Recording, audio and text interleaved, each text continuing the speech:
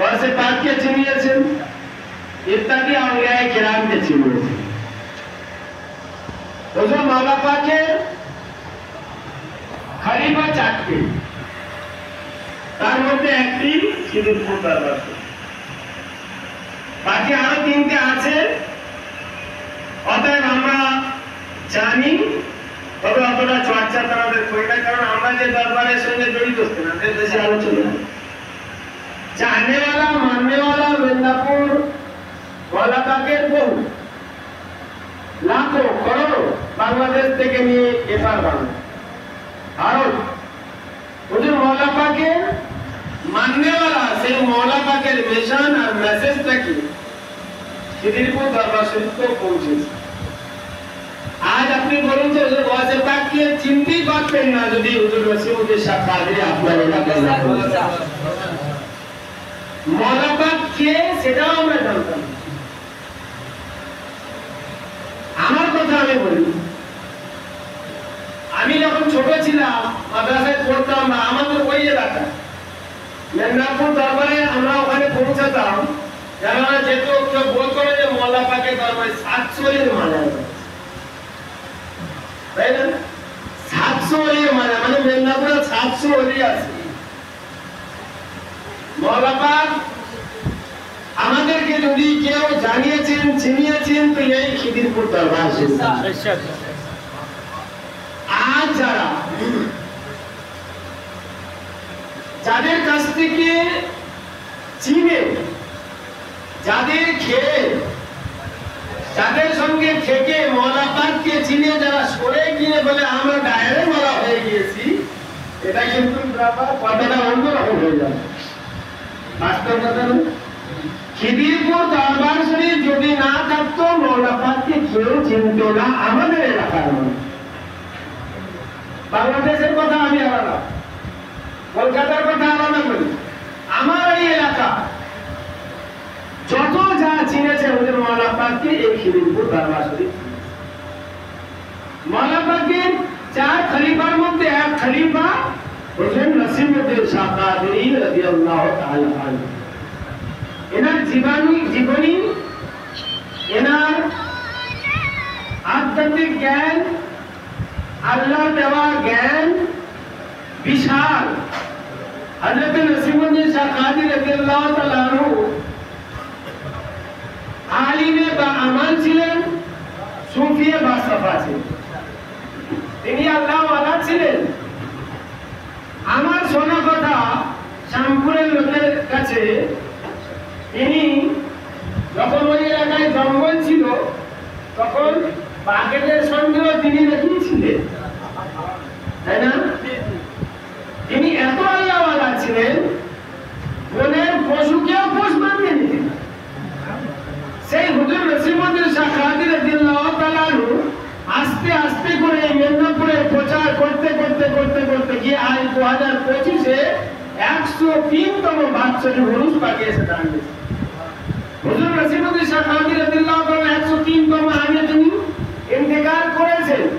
কিন্তু আমাদের কাছে তিনি জীবিত এখনও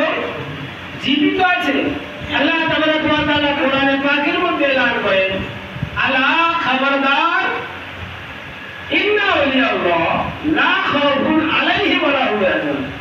আমার যারা বন্ধু হয়ে যায়, আমার যারা দোস্ত হয়ে যায়, তাদের কোন রকমের দুঃখ নেই ভয় নেই না চিরকালে না তারা দুনিয়ায় জীবিত থাকা অবস্থায় যত না তবলিক করতে পারে, দুনিয়া থেকে যাবার পরে, পর্দা নেবার পরে আরও বেশি তবলিক করে। আপনি কথাটা মিথ্যা করতে পারবেন না। কারণ দেখুন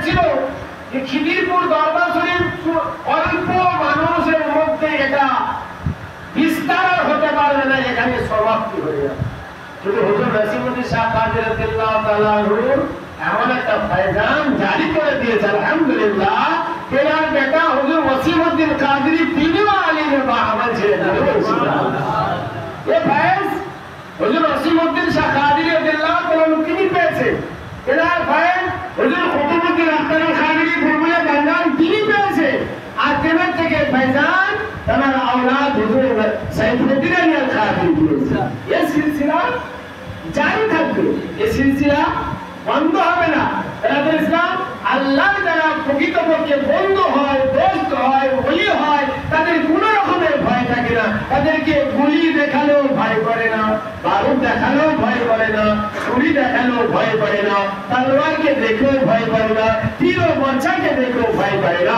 হুজুর নসিমুদ্দিন শাহ জঙ্গলে গিয়েও আল্লাহ না করে এলাকার মানুষকে মেসেজ দিয়েছে, বাবা, নামাজ পড়ো আল্লাহ রাস্তায় আসো, নবীকে ভালোবাসো, তিনি ইসলামের রাস্তায় আসো। হে নবীল্লাহ ইসলামিয়া, তিনি আস্তে আস্তে করে মির্জাপুর শরীফ থেকে যে ফয়জান নিয়েছে আমাদের কাজ পর্যন্ত পৌঁছে গিয়েছে আমাদের হাফিজ সাহেব বলছিলেন না দাদা এই খিদিরপুর দরবার শরীফের উপরে আজ বর্তমান সমাজ কিছু অনেক রকমের আগুন তুলছে দাদা কথাটা তো ঠিকই কিন্তু কথা হলো একটা কথা যে হক সবসময় কম হবে और हक को बोलो हक कड़वी होता है जो हक होता है वो कड़वी होता है हक কথা কিন্তু লাগে ইমামে হোসেন আলাইহিস সালাম কারবালার প্রান্তরে 72 নিয়ে গিয়েছিলেন, হকের উপর ছিলেন। এজিদের দল ইবনে জিয়াদ 22000 লস্কর ছিল নাহাতের প্রতি তারা তারা জানতো কিন্তু পাওয়ার শেরে খোদা মাওলা দিয়ে দিয়েছে আল্লাহু আকবার আলী বিন আবু তালিব এমন একটা পাওয়ার ইমামে হোসেনের মধ্যে দিয়ে দিয়েছে আল্লাহ 72 জনা একাই এক হাজার লোকের আল্লাহ আকবার মোকাবেলা করে আল্লাহ আকবার কারবালার ময়দানে এই মেসেজ দিতে চেয়েছে বাহাত্তর হলেও সেখানে হক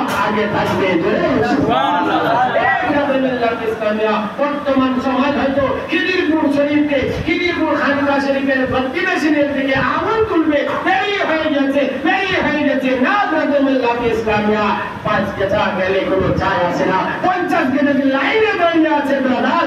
আপনি কাছ থেকে একজন চলে যাবে। আরও পাঁচ গেতে এসে আপনার থাকলে কেউ কোনোদিন তাকে মারতে পারে না। চেষ্টা করবে মেরে দেওয়া বহু চেষ্টা করা হবে তাকে, শেষ করে দেবা, কিন্তু শেষ হবে না। আপনি জানেন, ইমামে হোসেনকে শেষ করে দেওয়া হয়েছে। মেরে দেওয়া হয়েছে, কিন্তু ইমামে হোসেন আল্লাহ আকবার ইন্তেকালের পরেও মাথা কাটার পরেও খৌরির মেজার উপরে বসে কোরআনে পাকের তেলাওয়াত করছে ইমামে হোসেন খৌরির মেজার উপরে বসে আছে হ্যাঁ? বসে আছে মানে কেমন? গর্দানটাকে তারা কেটে দিয়েছে তারা গর্দানটাকে নিয়ে খৌরি মেজার মধ্যে ঢুকে পাড়ায় পাড়ায় গলিতে গলিতে, শহরে শহরে ঘোরাচ্ছে। কুফার কে আপনার বাইশ হাজার লস্করের জারার খুশি বানাচ্ছে, ঢোল তাসা বানাচ্ছে, মদ খাচ্ছে, ইত্যাদি ইত্যাদি তারা আনন্দ করছে। আর ইমামে হোসেনের দল আল্লাহ আকবার কামরায় নিয়ে যাচ্ছে। আহলে বাইতে আসিদানে আহলে বাইত তাদেরকে এক জিঞ্জিরে বাঁধা হয়েছে। আর ইমামের আলিমা তার মাথাটাকে খলি গেজার মধ্যে করে নিয়ে আনন্দ সঙ্গে ঘোরাচ্ছে। আর ইমামে হোসেন আল্লাহ সালাম ওই খলি ওরছার উপর থেকে মেঘার উপর থেকে মেসেজটা দিচ্ছে একা কোরআন তখনও জীবিত ছিল এখনও জিন্দা আছে আলীর বেটা হোসেন তালওয়ারের মুখের উপরে বসে কোরআনের তেলাওয়াত করছে কেউ দরকার নেই। কারও সঙ্গে দরকার নেই। একাই যদি হকের প্রতি থাকে ইনশাআল্লাহ সেখানে সবাই ঝাঁপিয়ে আসবে। আর যদি ব্রাহ্মণের ইসলামিয়া, তার মধ্যে যদি রকমের কোনো কিঞ্চিত পরিমাণ গন্ডগোল হয়ে যায় দাদা তাহলে কিন্তু আস্তে আস্তে মানুষ হতে থাকে দেখানো দরকার নেই কারোর দরকার নেই একা থাকবে একটাই মরিচ যদি থাকে একটাই মরিচ যদি থাকে ওই হাসরের ময়দানে ওটাই হয়ে যাবে হুজুর সাইফুদ্দিন আব্দুল কাদের দুনিয়ার জান্নাতে যাওয়ার রাস্তা আলা হযরতের পীর মুর্শিদ কে হুজুর আলে রাসূল মারহাবি আলাইহির রহমান এনাকে জিজ্ঞাসা করেছিলেন মুরিদরা হুজুর হাসরের ময়দানে যদি মাওলা খোদায় পাক জিজ্ঞাসা করে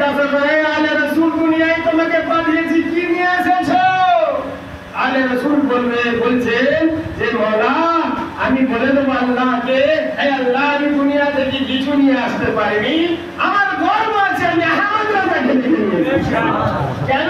তিনি একটা পাক্কা সচ্চা রসুল। পাক্কা সচ্চা রসে পাকের আশিক আছে আমি গর্ব করি আমার মুরিদ, আহমদ রাজা ইমাম ইশক মুহাম্মদের প্রতি এই রকম ব্রাদার মিল্লাত ইসলামিয়া হুজুর মাওলা পাক গর্ব করে ব্রাদার অন্যান্য খলিফার বিষয়ে বলতে পারব না খিদিরপুর খলিফা ইমাম হযরত উসিমুন নাসিমুদ্দিন শাহ কাদের রাদিয়াল্লাহু তাআলার প্রতি গর্ব এখনও করছেন তিনি কবরের মধ্যে শুয়ে শুয়ে আমার এক মুরিদ যাকে আমি পাক্কা সাচ্চা মুরিদের সালিক বানিয়ে দিয়েছি আল্লাহু আকবার এক সেকেন্ডে দেখে থাকে আত্মা ছিল আলা করে দিয়েছি সেই নাসিমুদ্দিন আজও খিদিরপুর দরবার থেকে নিয়ে আল্লাহু আকবার চলো আর মসজিদে শুয়ে আছে কবরস্থানে শুয়ে সারা বাংলার উপরে নজর রেখে দিয়েছে সেই नसीमुद्दीन शाह कादिर रज़ियल्लाहु अन्हु ये दरबार यहाँ अपनों का क्या कहना यहाँ अपनों का क्या कहना यहाँ से गैर भी खाली हाथ लाया नहीं करती ও আমার ব্রাদার মিল্লাত ইসলামিয়া আমার বাবাজিরা আমার ভাইরা আমরা যদিও বা মনে করি যে আমরা অল্প লোক কোথায় কি হবে সব তো শেষ হয়ে যাচ্ছে ব্যাপারা এর কোনো শেষ নয় একা যদি থাকে ইনশাআল্লাহ। পাঁচটা মাদ্রাসা থেকে যদি পঞ্চাশটা ছেলে তৈরি হয় এই পঞ্চাশটা ছেলে হাসর পর্যন্ত ধরে এই সেদিন দরবার শরীফকে নিয়ে যাবে ইনশাআল্লাহ। প্রত্যেক মাদ্রাসা থেকে যদি একটা করে ছেলে বার করা যায় প্রত্যেক মাদ্রাসা থেকে যদি একটা করে খিদিরপুর দরবারের নেতৃত্বে যে সমস্ত মাদ্রাসা আছে একটা করে যদি মাদ্রাসা থেকে ছাত্র তৈরি হয়ে যায় হাফিজ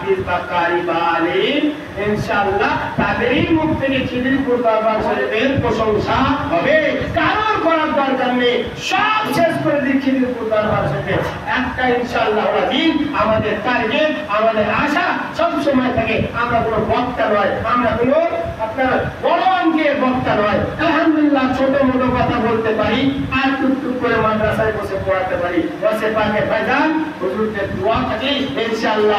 একটা একটা করে করতে আমাদের জন্য আল্লাহ আমাদের হক পথে চলার তৌফিক দান করো, সৎ পথে চলার তৌফিক দান করো, আর হকের সঙ্গে জুড়ে থাকার তৌফিক দান করো। দুনিয়া কে কি করছে আমার দাদা অনেক মানুষ আপনাকে বলবে মেদিনীপুর খুব হয় না কেন? ওখানে করা হয় না কেন? ওখানে কালো পোশাক করা হয় না কেন? ওখানে লাল পোশাক করা হয় না কেন? ওখানে ধরা করা হয় না কেন? ওখানে মসিয়া করা হয় না কেন? আমি আপনাকে একটা ছোট্ট করে কথা বলে যাই, দাদা এর আগে অনেকবার বলেছি, এই খিদিরপুর দরবার শরীফের সঙ্গে হাজারো আলিম ওলামা মুক্তির ভিড় থাকে। আলহামদুলিল্লাহ, আর যে দরবারে আলিম ওলামাদের ভিড় থাকে, ওই দরবার কোনোদিন গুমরাহ হতে পারে না। ও দরবার থেকে শরীয়তের বিধানের টুকরো কোনদিন হতে পারে না। শরীয়ত ওখানে হবে, যেখানে আলিমের বসবাস আলিমের চলাফেরা হবে। এই খিদিরপুর দরবার শরীফ, আলহামদুলিল্লাহ, যিনি গদ্দির আছেন বর্তমান তিনি আলিমে বা আছেন আর এনার আব্বাজি, তিনিও আলিমে বা আমাল ছিলেন। এনার আব্বাজি, তিনিও আলিমে বা আমাল ছিলেন। এনার আব্বাজি, তিনিও আলিম ছিলেন। আলিমদের কাছে কোনোদিন শরিয়াতের খিলাফ কথাবার্তা হবে না। তাই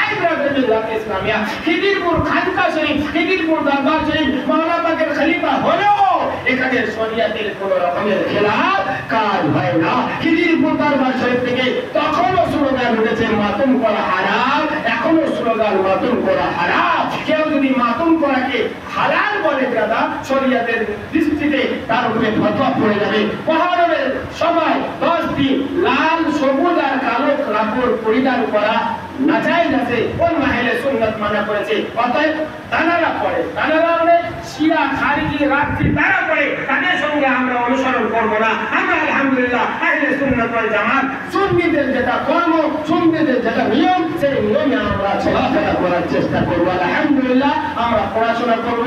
আমরা দুঃখ জানাব। মহরম মাসে দুঃখ আবার খুশি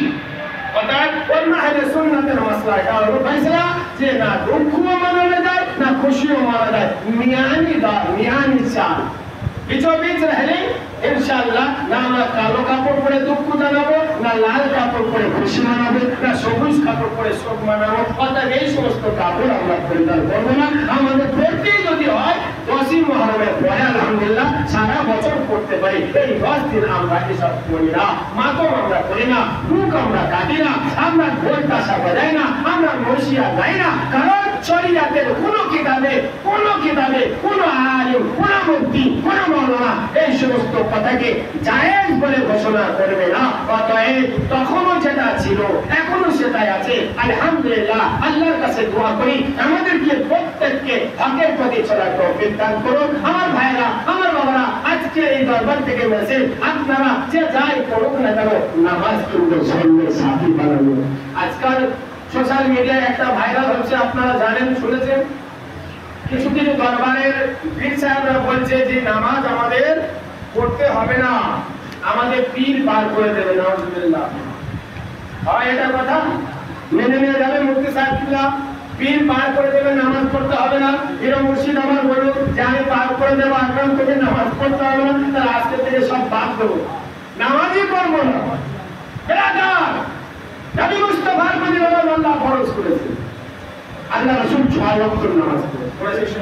পাঁচ ওয়াক্ত ছাড়া এক ওয়াক্ত বেশি চোদ্দ নামাজ। নবীর ঘরে কোরআন নাজিল হয়েছে। হাদিস নবীর দ্বারাই তৈরি। আর নবীর ঘরে না আওলাদ আহলে বাইত তারা নিজের বন্টন কাটিয়ে দিচ্ছে কিন্তু নামাজ কাটা করেনি। আজ কোন ধর্মের মুরিদ হয়েছো? পীর মুর্শিদ কোথা থেকে খেলাফতে নিয়ে ভাই নামাজ পড়তে হবে না কোথা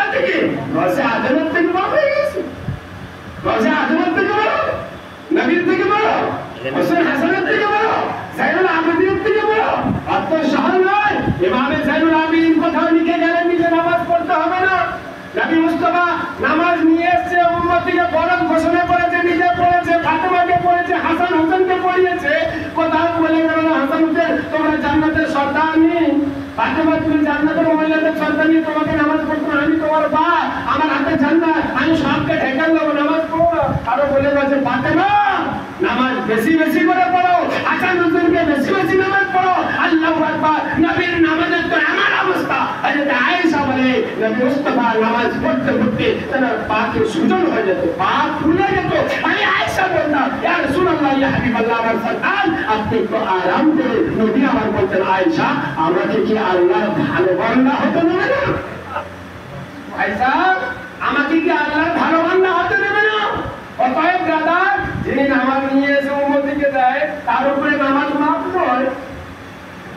আর সেই নবীর উম্মতিদের কোথা থেকে খেলাফাতি এসে গেছে পীর হয়ে গিয়েছি বলতে পেরে গেছি এত বড় কথা? যে নামাজ আর বলতে হবে না। দাদা আমাদের পীর এখনই বলুন না আমরা কেউ আর নামাজ পড়ব না। দাদা এটা আপনি গ্যারান্টি নেন দোয়া করুন পাঁচ শক্তি মৌলা আয় আল্লাহ আমার প্রিয় মুর্শিদকে জান্নাতে নিয়ে যান জান্নাতে পাঠান আমার পীর যদি জান্নাতে যায় আমরা জান্নাতে যাই। আমার পীর যদি জান্নাতে যায় আমরা জান্নাতে যেতে পারব ব্রাদার খবরদার যারা এই সমস্ত বার্তা পৌঁছায় মেসেজ দেয় যে নামাজ ছাড়া জান্নাতে যাবে আমি তাদেরকে বলি, খবরদার, হুঁশিয়ার হয়ে যাও। আপনারা গোমরা। কোনো দিন নয়, নামাজ ছাড়া কেউ জান্নাতে যেতে পারবে না। কারণ নামাজ ছাড়া কেউ গজ হতে পারে না। নামাজ ছাড়া কেউ কেউ বলি হতে পারে না। নামাজ ছাড়া কেউ বলানো হতে পারে না। নামাজ ছাড়া কেউ পীর হতে পারে না।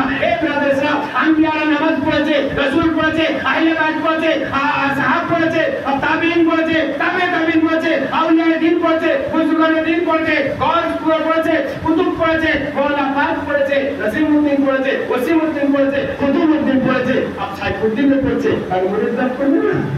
এই ব্রাদার্সরা তো যাই হোক এই সমস্ত বেকার বাতে হ্যাঁ? মন খারাপ কথা এসে আমাদের দরকার নেই, ইমানটাকে হারাবার দরকার নেই। আলহামদুলিল্লাহ, আমরা জানি আমাদের প্রতি পাঁচ নামাজ আল্লাহ ফরজ করেছে। যতটা পারব তাহাজ্জুদ পড়ার চেষ্টা করব, নওয়াফিল পড়ার চেষ্টা করব। আরও যত আওরাত অদায় প্রিয় মুর্শিদের কাছ থেকে নিয়ে নিজের আমলটাকে নেক করে ফিরে চরম ধরে দুনিয়া যাবার চেষ্টা করব। আকিদা গড়বড় করবেন না, তাহলে কবরে গেলে এখন থেকে কথা মানুন আর আকিদাটাকে মজবুত করে দুনিয়া থেকে যাওয়ার চেষ্টা করো। এই বলে আমি আমার বক্তব্য শেষ করছি। পরবর্তীতে হজুর মুফতি শাহনামাজ হুসেন